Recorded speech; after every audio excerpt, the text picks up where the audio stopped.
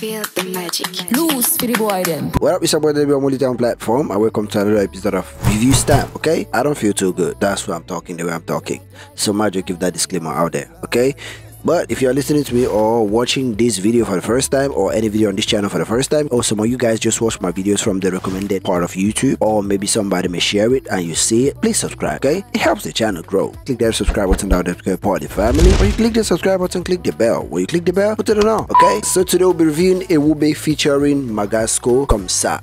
I just listened to the song and I couldn't do a video reaction since I said like a few seconds ago I don't feel so good, so I don't feel like it's right for me to appear on camera right now. The song, when I listened to it, um, in the beginning they sampled Brick and Lace Love is Wicked. Okay, that's the sample they used on the song. And when you listen to the whole song, that clap, that um, is spread throughout the whole song. And Ewube has been great at dancehall, like that's where she belongs, that's where she always fit. And those are the kind of songs I discovered it will be on. Not like this the best dancehall she's done before because I don't think this song did top up it, but it's a dope song. Not memorable, but dope. And I understand how they were she was trying to blend the English and the French by saying you make me feel comme ça and everything she made it with comme ça like trying to sell it to the French market. She was trying to commercialize the song a lot. To me that's one of the downsides of the song. They disconnect. I hope it connects though because some kind of songs like this connect when they try to do it. It connects. Uh yeah Magasco's verse was perfect there's nothing I can say about that. Again, that's just it. It was perfect. Magasco added a lot to the song. We listened to his verse on the song, was just like, okay, this beat was made for Magasco.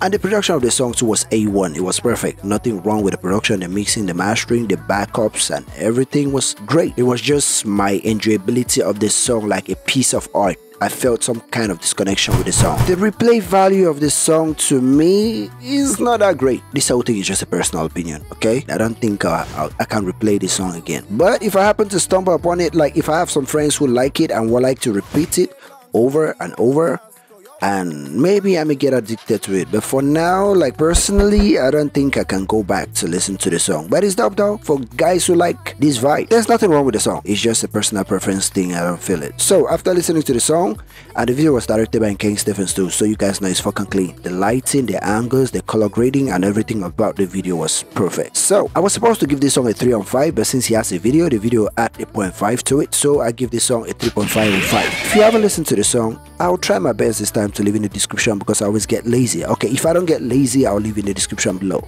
But if you've listened to the song, tell me what you think about the song in the comment box below. And once again, before we leave, if you haven't subscribed yet, or some of you guys just watch my videos from the recommended part of YouTube, or maybe somebody may share it and you see it, please subscribe, okay? It helps the channel grow. So click that subscribe button down there when you click it click the bell when you click the bell put it on all that's just one hell of a job you two are giving everybody so it was your boy Deli and i'm out